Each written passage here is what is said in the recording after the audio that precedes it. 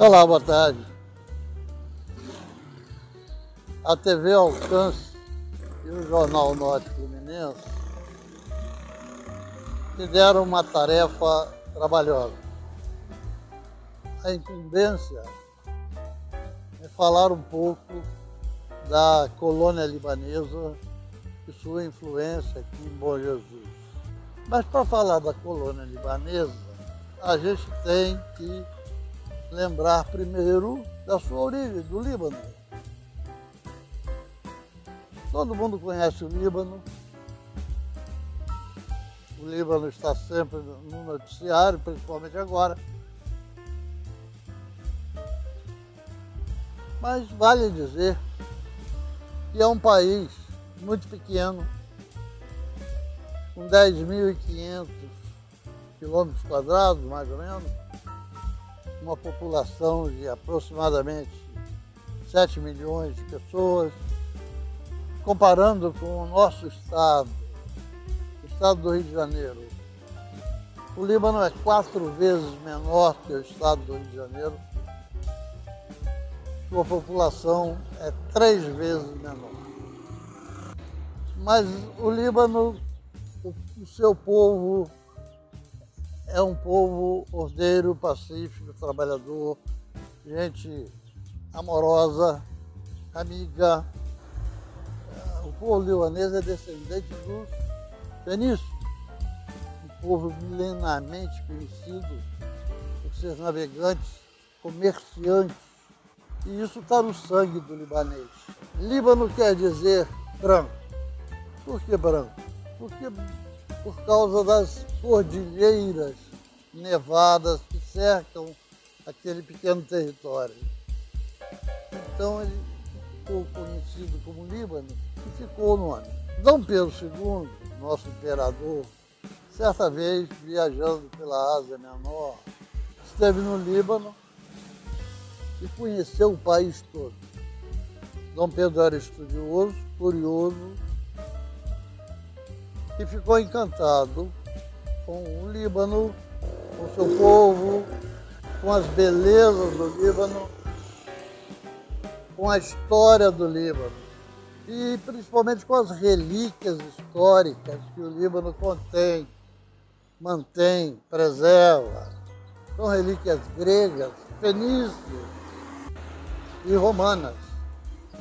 Dom Pedro se encantou também com o cedro, famosos cedros do Líbano, existem lá ainda muitos, com idade da época de Jesus, porque eh, a gente deve lembrar que o cristianismo foi, foi manifestado, teve início, vamos dizer assim, exatamente no Líbano. Por isso que a gente costuma dizer, a história do Líbano costuma dizer que tem lá cedros desde a época de Jesus. Pedro ficou encantado e começou a fazer a propaganda do Brasil. O Brasil precisava de ser povoado e ele começou a fazer propaganda do Brasil, dizendo para aquele povo que o Brasil era isso, era aquilo, a terra prometida, uma terra que oferecia prosperidade, paz, principalmente paz para aquele povo. Os libaneses guardaram isso.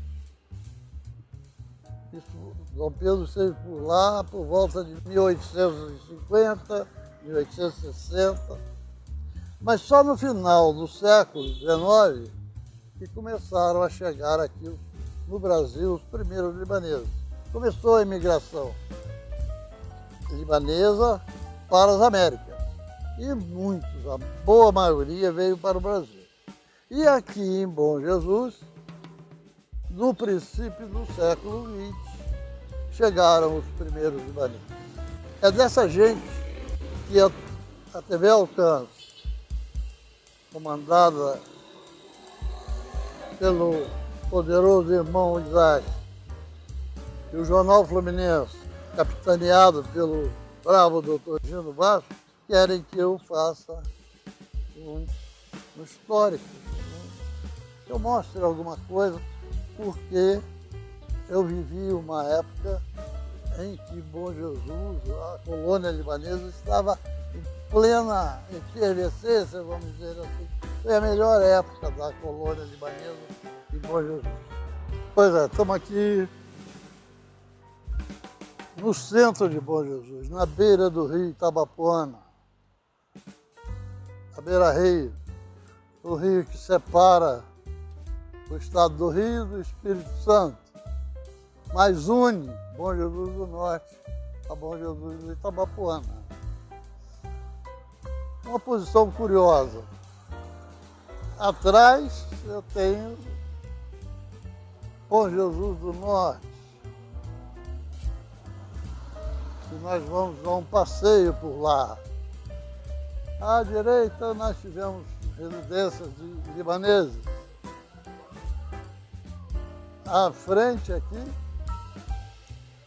a Casa Mansur, que foi muito famosa em Bom Jesus e Itabapuana, depois virou, passou com a extinção da Casa Mansur, foi Banco do Brasil, e hoje é ruína. Ao lado ali, mais ou menos nessa direção, havia um, uma alfaiataria de um outro libanês chamado Pedro Vaquim, que poucos de Jesus se lembram dele. Pedro Vaquim e sua esposa, Dona Júlia. Voltando à Casa Mansur e ao José Mansur, com todo respeito eu tenho que falar dele, porque José Mansur foi um ícone de Bom Jesus, da cidade. Foi o libanês mais importante de Bom Jesus. A sua casa, a sua loja, vendia de tecido e linha até implementos agrícolas. Nesse cantinho de cá, na, na, na loja, onde está aquela última grade de janela, mais ou menos nessa altura, ficava a escrivaninha do seu Mansur. Ali ele recebia amigos, ele dava conselhos, ele estimulava pessoas, ele planejava coisas para Bom Jesus. E, sobretudo, ele guardava o dinheiro dos fazendeiros e dos sitiantes que traziam o resultado de uma venda de gado, de café, que era muito mais comum na época, e o dinheiro que eles traziam eles deixavam com o seu Mansur guardado com o seu Mansur. Então era a confiança que esse homem inspirava em toda a população. José Mansur, portanto. Ah, e outra coisa, Banco do Brasil, que depois ocupou aqui a loja dele, foi mantido em Boa Jesus por ele. José Mansur é responsável pela permanência do Banco do Brasil, que está aí até hoje. Foi o seu José Mansur. Então José Mansur é uma figura é, é, fenomenal de Bolívia. Merece uma, até uma estátua. Eu sou muito suspeito para falar, porque eu sou muito chegado à família desse homem sensacional que foi José Mansur. Aqui atrás, Bom Jesus do Norte. Vamos começar lá perto do Campo do Progresso. Lá nós tínhamos, lamentavelmente, tudo que eu disser, quase tudo será passado. Seu Naim, seu, seu Naim Jabô. Mas seu Naim, além da família libanesa, que ele criou com muito carinho e cuidado, ele teve um filho que é um herói nacional. Lutou na Itália, foi expedicionário e retornou vivo. Jorge Jabot. É, portanto, um herói bom jesuense e está entre os 18 bons jesuenses que foram à Itália e 17 deles voltaram vivos, sobreviveram. Um deles faleceu, que foi o Paulo Moreira, que hoje é o nome de rua aqui perto. Depois nós caminhamos para cá. Deixamos lá a família de Jorge Jabor, de seu filho herói. Andamos mais para cá, vamos encontrar o seu Ábido Elias Assad.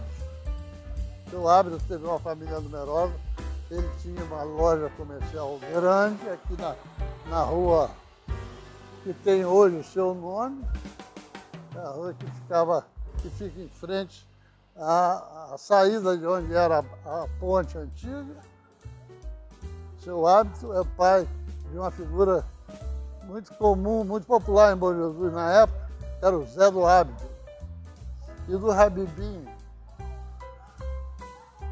Depois, mais para a esquina, o seu Mansur, José Mansur também é o nome dele. Família tinha uma, uma loja, uma venda, ao lado dele, a sapataria do Lies. Quem era o Lies? O Lies era o Elias Assad. O Lies era pai do Planica. Planica foi uma figura muito conhecida em Boa Jesus, jogador de futebol. Era pai do, do Zilton, foi gerente de banco e etc. O senhor Lies era sapateiro, mais que sapateiro, mais que um simples remendão. Ele era um artesão, um artista, que fazia sapatos de alto luxo para as madames, as senhoras da época e para os senhores também. Então, Bom Jesus do Norte tinha essas figuras importantes de libaneses que vieram para ajudar o brasileiro a construir o seu Brasil. Atravessamos a ponte, imaginariamente a ponte velha que existia ali, a ponte de madeira. Passamos para o lado de cá. E do meu lado direito, logo na beira do rio, existia um sobrado. Ali morava o seu Elias Naim, seu Elias Naim, com a família. José Naim, filho, Elias Naim, funcionário do Banco do Brasil, e mais outros que eu não me lembro, afinal de contas, o tempo já vai longe. Posteriormente, na mesma casa morou outro libanês, o Miguel Fadel.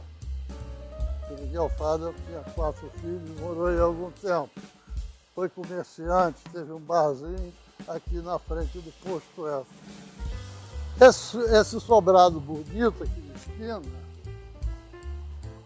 foi construído pelo José Mansur. Era a residência dele. Ele, Dona Bahia, era sua esposa.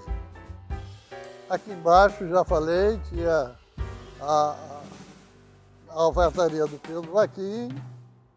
Aqui na esquina tinha uma barbearia, os dois barbeiros. Eu me lembro que eu era menino. O Benedito e o Ernesto. Eram os dois barbeiros. Aqui, tradicionalmente, era, e foi durante muito tempo, a farmácia do seu Domingos Venâncio. O seu Domingos Venâncio teve quatro filhos, formou quatro filhos, e esses quatro filhos, é, um foi médico famoso, professor de medicina em Niterói, doutor Edgar Venâncio. Outro foi advogado, Edgar Venâncio, e depois as duas moças, uma foi farmacêutica e a outra médica, Edmir, Edmir e Edmilson. Então foram pessoas importantes para Bom Jesus. Quando ainda vivo,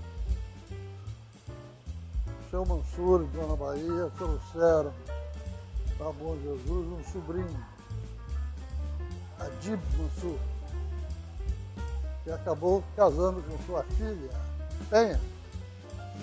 Adib foi uma figura importante em Bom Jesus. Foi o homem que trouxe para cá a ótica avenida.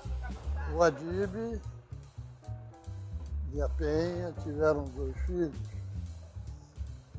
Um é o Paulo, que é veterinário e pesquisador na Ilha do Fundão, no Rio de Janeiro. E o outro é o meu querido Zezinho Mansur, dono da Ótica Avenida. Também, posteriormente, chegou ao Brasil um irmão do Adib, o Mansur, Mansur Mansur, que é pai do Mansurzinho da Primótica. Mais tarde, um pouco, veio Jorge Mansur, que é o é, marido da minha querida Maria Áurea, e foi professor e foi comerciante Jorge Mansur. Portanto, três irmãos, Adib, Mansur e Jorge, todos sobrinhos de José Mansur. E, portanto, parte importante da família desse grande libanês que foi pioneiro em Moisés, o primeiro libanês a chegar em Moisés, foi José Mansur. À minha direita, essa casa velha, feia aí, antigamente era uma loja chamada A Libanesa. Seu dono era José Eide. José Eide também é uma figura muito importante de Bom Jesus. Como curiosidade, eu sempre conto que José e meu pai fugiram juntos de um colégio interno lá no Líbano. Cada um, quando chegaram em Beirute, se separaram, cada um foi para um lado e vieram, curiosamente, muitos anos depois, se encontrar em Jesus da Vapor. Esse era José. Ao lado era a casa Salim Antônio, antiga casa São João. Seu proprietário, Salim Rana Saad, casado com Dona Tepe Chalub Saad.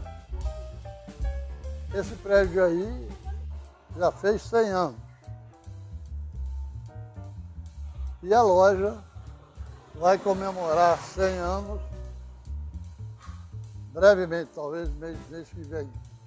Porque a loja era do Salim.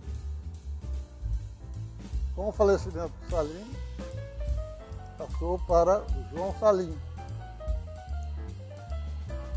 E com a morte do João, assumiu a direção da casa, hoje Magazine Salim Antônio, seu filho Roberto. Salim Antônio teve três filhos.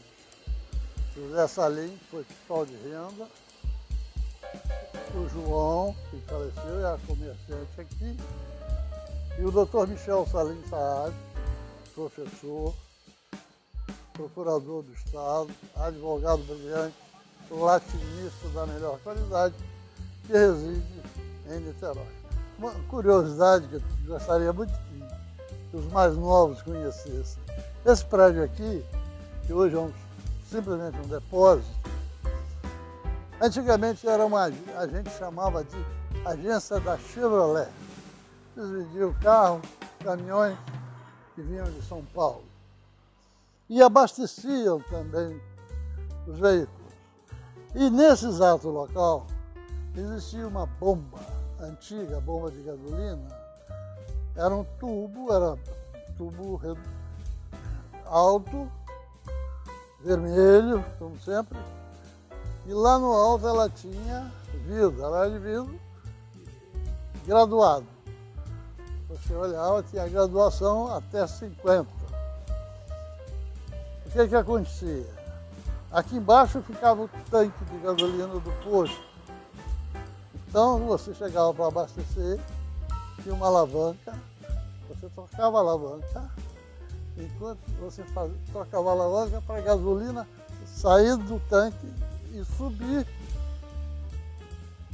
E você ia acompanhando a subida da gasolina. Quando ela alcançava a quantidade marcava lá a quantidade que você quer, 15 litros, digamos, você parava, pegava a mangueira, colocava no tanque e abria. a gasolina simplesmente descia por gravidade para o tanque do seu carro. Aí você depois você pagava lá dentro o que você consumiu. É uma curiosidade, não sei onde existe uma bomba dessa. Eu me lembro que era uma bomba até muito bonita.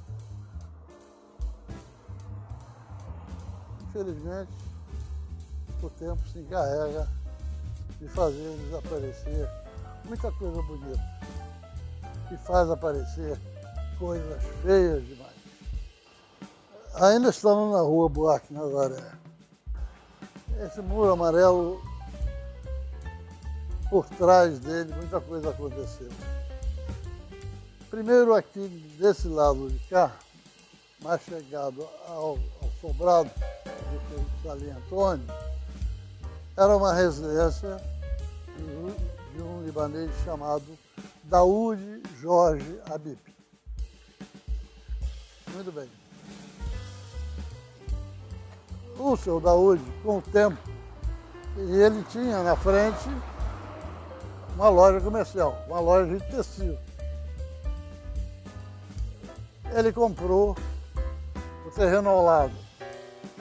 O terreno ao lado, ele comprou, fez um bonito sobrado, fez a sua residência em cima e embaixo ele botou a casa comercial dele. Chamava-se Casa Nova, de Daúde Jorge Abib. Já, tudo já foi demolido, mas a presença do seu Daúde aqui é marcante. Vale informar que aquele, na parte de lá, onde ele construiu o seu prédio novo, antigamente, foi uma loja comercial, uma venda, uma venda chamada Casa Verde, que tinha como sócios o Namen Chalub e seu Elias Chalub, os dois irmãos. E em frente ao muro amarelo que foi mostrado, Aqui foi residência do senhor Alexandre José Assad. Quem foi o senhor Alexandre? O senhor Alexandre foi um comerciante, criou uma família numerosa. Seus filhos, João Assad está com 90 anos, um procurador brilhantíssimo, está vivo e mora no Rio de Janeiro. Zé Elias era dentista, faleceu. E o Luiz, que era veterinário, faleceu duas moças, Maria e a Carminha, eu confesso que eu não sei, parece que elas são casadas e vivem bem, graças a Deus, em campo. Não tenho muita certeza, mas parece que é isso. No local, o Alexandre tinha a sua loja. Ele era comerciante, novidade eu falar que o libanês era comerciante. O no local funcionou depois uma loja de tecido chamado Casa Santa Terezinha, que era de um cidadão lá de Apiacá, Silvio Figueiredo Ribeiro, pai do grande médico que trabalhou em Bom Jesus, doutor Jaime Figueiredo, que faleceu, infelizmente. Muito meu amigo, faleceu precocemente.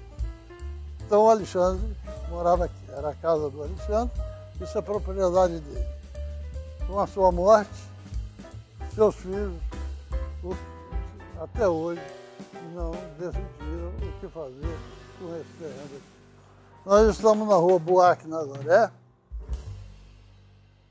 Originalmente, nós iríamos falar sobre a colônia de Vanessa. Vamos fazer isso. Mas já que estamos aqui, vamos mostrar umas relíquias da, de Bom Jesus como esse prédio aqui atrás de mim, construído pelo capitão João Manuel Teixeira, por volta de 1920. Esse prédio foi restaurado pelo jornal Norte Fluminense e transformado como centro cultural de Bom Jesus.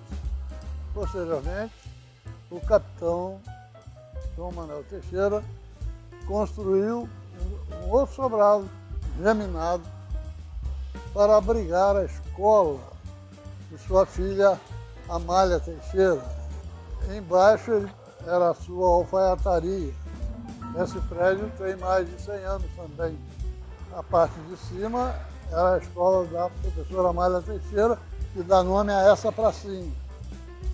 E, e a parte de baixo foi alugada, foi feita para alugar.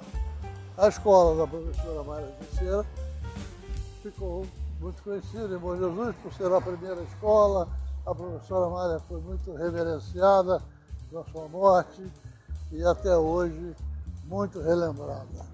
Eu estou matando saudades ao ver todas essas casas, minuciosamente, porque normalmente a gente passa de carro e não presta atenção. Mas veja bem, ali onde está o Rafinho, hoje é um supermercado, ali é um casarão, onde residiu um outro libanês tradicional, o Tebet Kuri, pai do Zé Tebet, do Jamil lá de Bom Jesus do Norte. Ele era comerciante de uma loja, era a figura tradicional e muito querida de Bom Jesus, o Tebet Kuri.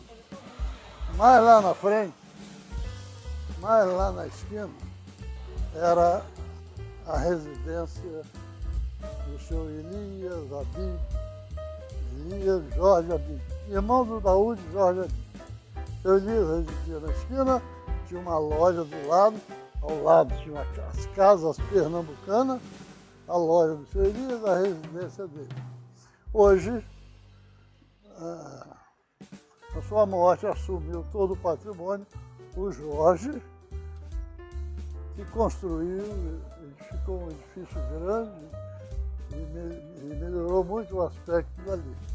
Jorge hoje está vivo, está com, com 100 anos, mas felizmente já ainda está vivo. Então aqui nessa rua nós temos dois libaneses. Gente que também suou pelo progresso dessa terra de Aires. Vejam só, eu estou falando de libaneses que foram úteis e necessários e colaboraram muito para a formação dessa comunidade de Jesus. Então foram pessoas muito importantes para Aqui o seu Tebes lá o seu Elias e seus descendentes. Posteriormente, uma das filhas do seu Elias, a Olia, casou-se com o hábito, e o hábito era de Miracema, o hábito mudou para cá. E o hábito era outro libanês, que fez muitas amizades e ajudou muito a nossa gente de Bom Jesus.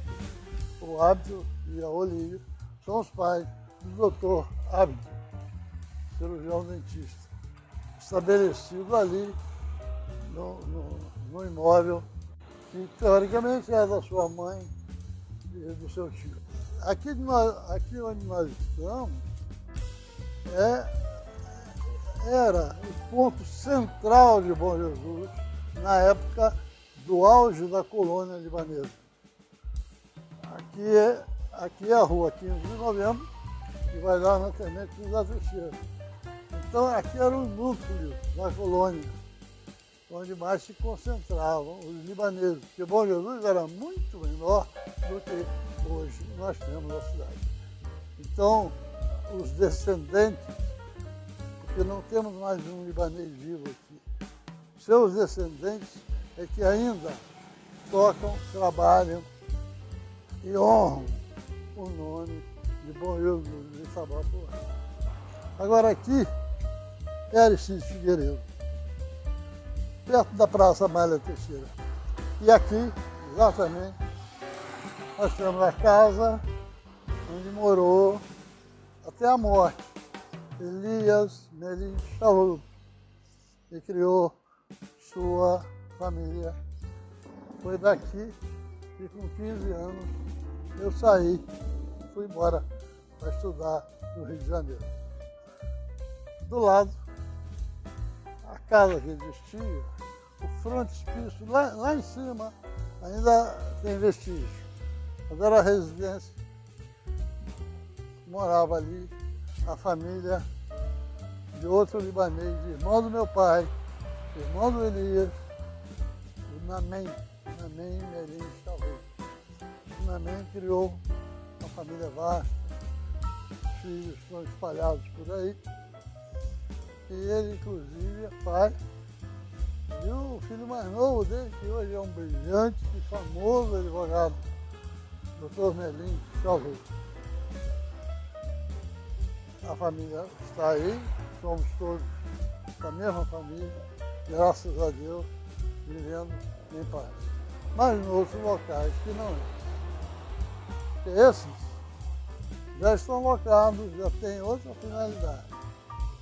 Atrás, aqui à direita, nós já mostramos da outra vez, está, estão as ruínas do que outrora foi o aeroclube. E aqui atrás, onde tem um terreno vago, residiu o Lé, José Assad, libanês, que viveu a vida inteira aqui e era chofer de praça como se chamava antigamente o taxista. Ele tinha um Ford 29 e ficava permanentemente debaixo do pau-ferro lá da praça. Era o Lé, figura lendária e, e característica de Boris Era uma figura engraçadíssima. Essa é a esquina dos turcos da cabeça branca. Era assim. E as pessoas menos falavam de dois libaneses tradicionais, antigos aqui de Bom Jesus, seu nome Habib, seu irmão Antônio, foram, foram comerciantes aqui durante largo tempo. Largo tempo. Hoje, a Ampla assumiu, demoliu tudo e assumiu. Né? Então aqui era a, a, a, venda dos turcos da cabeça branca, que eram os libaneses, seu nome Tala e seu Antônio. Bem aqui em frente ficava a residência da dona Alda Borges, a vendinha do seu Totônio Borges, e na esquina casa de tecido, de fazenda, que na época, na minha época, era uma sociedade do seu Dário Vieira Borges e do senhor Nelo Coutinho. Depois eles se separaram, ficou só o Dário, que hoje que criou esse, esse grupo social que existe até hoje. Portanto, isso aí tudo é o senhor Dário Vieira Borges. Rua Buarque de Nazaré.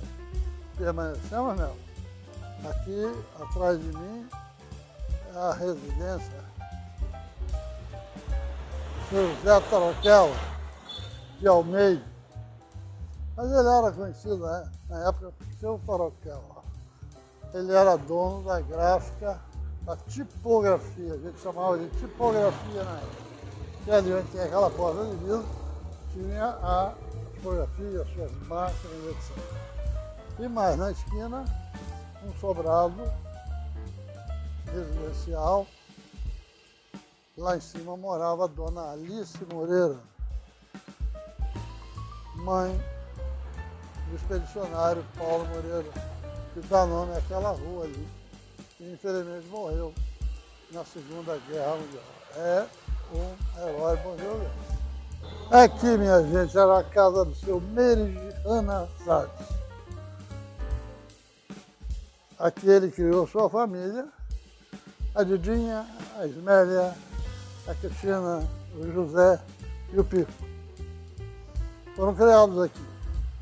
Essa casa tem história, eu inclusive frequentei muito quando menino. Né, essa casa hospedou muita gente. Mas eu me lembro, memória de garoto de 10 anos, de 11 anos. Ela hospedou figuras importantes do rádio e do cinema brasileiro naquela época, Renato Murso, Carlos Matos, Carlos Matos, e duas das mais bonitas mulheres que surgiram no cinema brasileiro da época, Eliana e Adelaide Chioso. Aqui, meu companheiro, foi a redação do Jornal Norte Fluminense.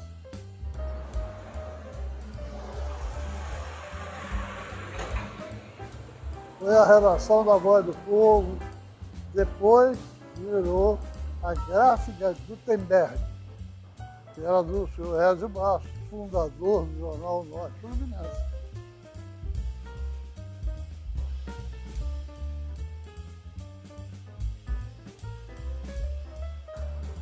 Esse prédio bonito que está aqui, antigamente era um hotel. Posteriormente, o hotel acabou e o seu Carim João, que residia ali na Praça Malha Teixeira, comprou o imóvel e fez uma bela casa para a residência da sua família. Ele havia casado a sua filha e com ele e sua esposa veio morar a família da filha que se casou com um cidadão chamado Salim Darwish Tanto, figura também icônica de autor da música que é hino da cidade, uma figura ímpar, um amigo exemplar figura alegre, divertida. Todo mundo gostava disso. E o Salim criou sua família aí. Seis filhas e um filho. Três, o rapaz mais três. Graças a Deus a família sobrevive, apesar de ter perdido o Luiz Gonzaga, que era um engenheiro brilhante, era o filho do meio do Salim. Então essa casa era do Carim João e posteriormente do Salim Thanos, Salim Daris Thanos e sua família. Antigamente, tinha aqui embaixo a farmácia Laborne. Ao lado do seu Laborne havia uma lojinha que vendia revistas, balas, essas coisas, uma espécie de uma bombonière de um libanês chamado Rashid. Rashid Félix. E ao lado, uma residência. Uma residência de uma família capitaneada pelo senhor é, Tancredo Peixoto. Tancredo Peixoto que já desapareceu daqui e nós não sabemos mais disso. Posteriormente, veio a Leiteria Brasil e outras, outras lojas alugadas aqui, eu não posso afirmar faz. Queria só lembrar da presença do Laborde e do Rachid. O Rachid é libanês e viveu aqui em Bom Jesus por muitos e muitos anos ajudando também no crescimento, no desenvolvimento da nossa terra. Atrás de mim, o prédio que eu acho mais bonito de Bom Jesus. Eu me lembro, aqui morava um farmacêutico chamado Pedro Santos. A esposa dele, acho que era Marina.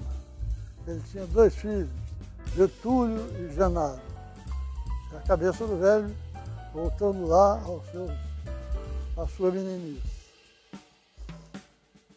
Posteriormente, passou por outro dono e foi adquirido pelo senhor Neres Hanassari, que morava ali embaixo. E mudou-se para aqui. E foi daqui que o Neres conseguiu administrar o Monte Líbano que ele havia inaugurado em 1950. Então essa casa até hoje pertence à família do médico. Suas filhas ainda tem duas vivas, seus netos ainda vêm aí de vez em quando curtir a casa dos avós. O Monte Líbano. É, o Monte Líbano foi a joia de Bom Jesus. Inaugurado em 1950, foi uma festa. Causava inveja às cidades circunvizinhas, porque era um cinema imenso, enorme, moderno. Aqui na frente tínhamos uma sorveteria, mas sorveteria daquelas que você sentava à mesa, o garçom lhe trazia a taça com o sorvete, um copo d'água, e havia uma quantidade enorme de sorvetes, cada um melhor do que o outro, feitos pelo mestre Cornélio, saudade do Cornélio. O, o Monte Lima foi inaugurado na festa de agosto de 1950, com o filme Carnaval no Fogo. Esse filme era estrelado por Eliana, Renato Mursi, Adelaide Pioso, Oscarito, eram as estrelas do cinema na época. E fez muito sucesso no Rio de Janeiro e em São Paulo. Então o seu Meires foi buscar a fita e foi buscar os principais atores e trouxe. E hospedou quatro desses atores na casa dele, ali embaixo, já mostramos. O, o, o Montenegro foi, portanto, uma, uma, um marco de uma era em Jesus. Bom Jesus era, ah, é onde fizeram aquele cinema, seria outra cidade, ah, fizeram o cinema lá. Não existia cinema nas outras cidades e Bom Jesus fez essa beleza que está aí. Esse é o Monte Líbano, fundado pelo Meire de Hannah Sai. Então, Bom Jesus tem, para homenagear colônia libanesa, os libaneses natos que aqui chegaram.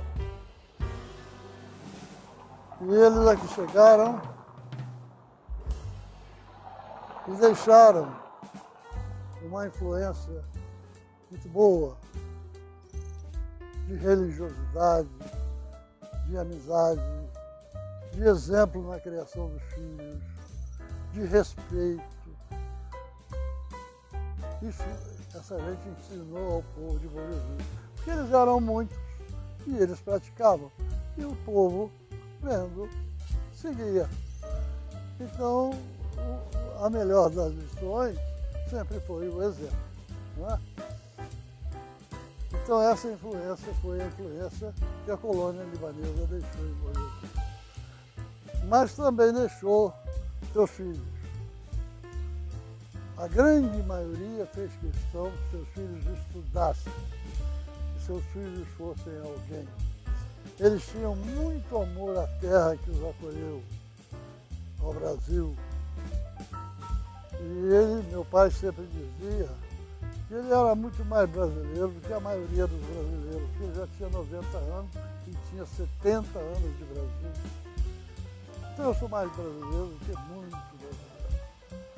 Eles tinham muito amor pelo Brasil, defendiam o Brasil, amavam esta terra e passavam esse amor para seus filhos, que acredito continuam honrando o bom Jesus você, a gente pode ver filhos ilustres de Bom Jesus em lugares de destaque, fazendo coisas importantes, sem jamais olvidar a terra. Basta ver que a festa de agosto traz muitos deles aqui para matar a saudade. A gente falou do, do Monte Líbano, foi uma obra monumental na época. E era orgulho aqui da terra. Falou, falei também do, dos seus descendentes, descendentes dos libaneses, que também buscam honrar o amor que seus pais tinham pelo Brasil e pelas terras que eles acolheu. Ponto. Quando foi feito o Monte Líbano, foi uma obra monumental para ela. Para Bom Jesus foi uma obra monumental. Então, tínhamos aqui o doutor Aníbal Amin. O doutor Amin não era bom ele vivia aqui. Casado com Jesus, com filho Jesus. O Amin né, resolveu fazer uma entrada possivelmente de garagem que tinha aqui entre o prédio de lá e esse, aproveitando aquela entrada de garagem, ele fez, ele resolveu, o prédio era dele, da família, ele resolveu fazer o seu escritório ali. Então ele aproveitou o espaço da garagem e fez um edifício, que é aquele ali.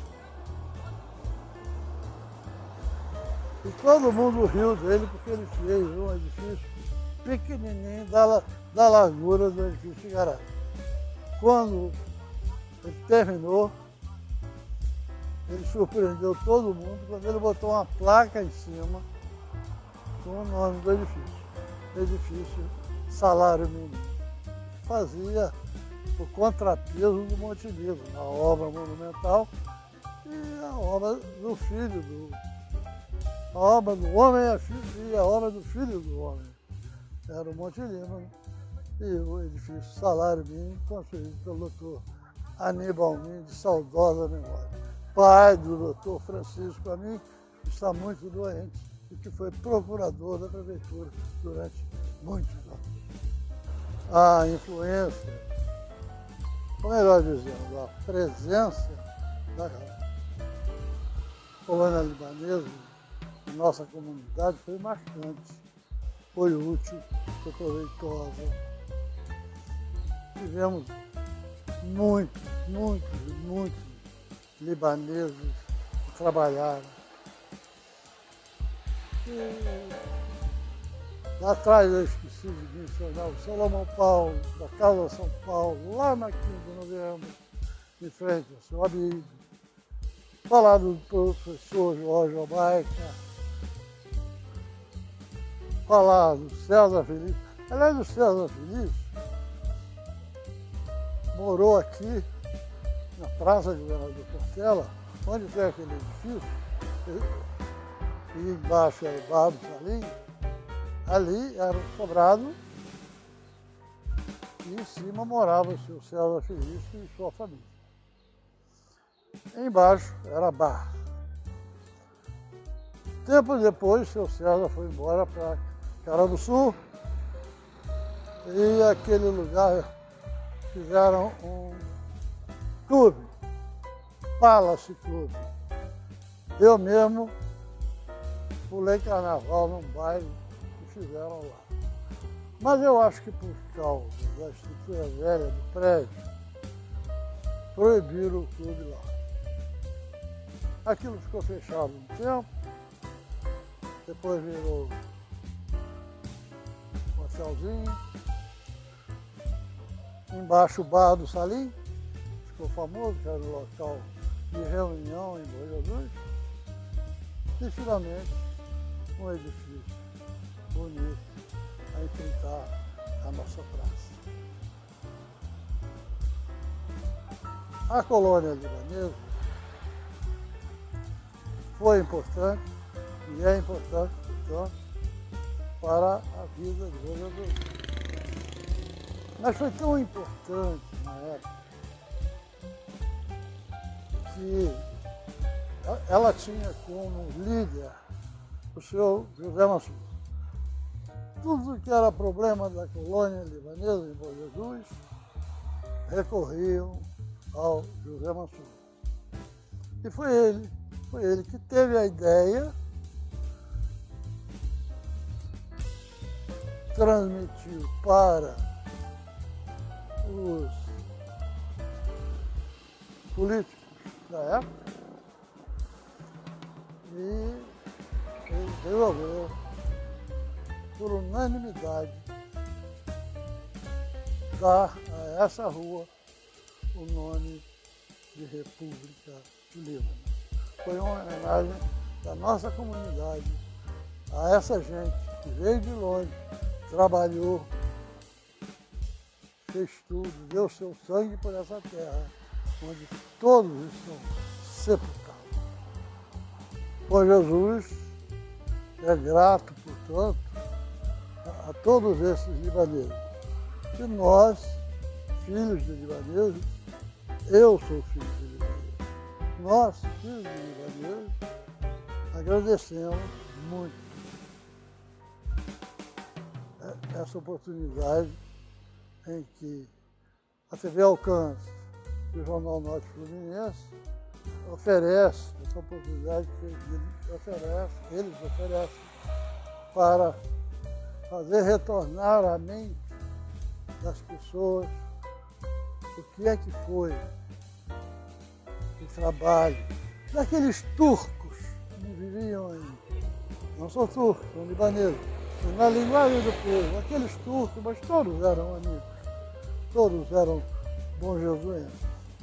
Nós agradecemos como jesuenses, como descendentes de libaneses, essa presença do Jornal Norte Fluminense e da TV Alcance sob a batuta do nosso querido Isaac Nascimento.